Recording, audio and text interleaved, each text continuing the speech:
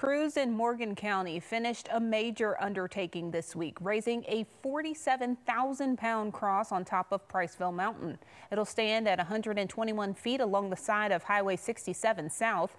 News 19 photojournalist Sean Collier was there to capture the moment. The project itself it started with uh, Tommy and Dee Livingston. They own, obviously, this is very valuable property near the interstate.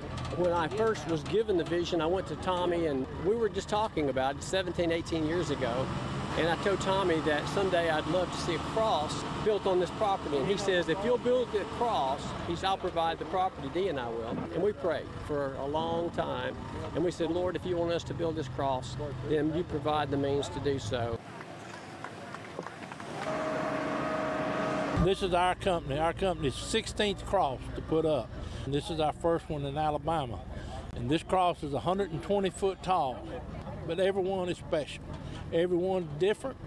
Yeah, it's the same size cross. It looks the same, but the communities are different. The people are different. You get to meet so many people.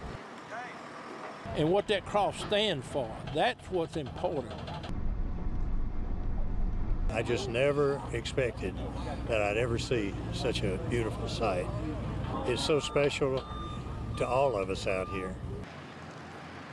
I just want to thank the community for helping out the way they did, and just we enjoyed it, and God bless you.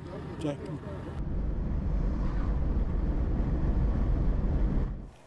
For more information about this project or to donate to the organization, check out our website, WHNT.com.